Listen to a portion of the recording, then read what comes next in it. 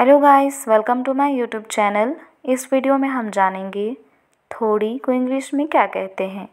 थोड़ी को इंग्लिश में कहते हैं लिटल आइए से हम एग्ज़ाम्पल से समझते हैं. Example I got little sleepy today यहाँ लिटल का मतलब है थोड़ी.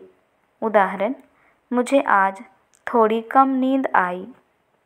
इसी के साथ इस वीडियो में बस इतना ही. Thank you so much for watching my video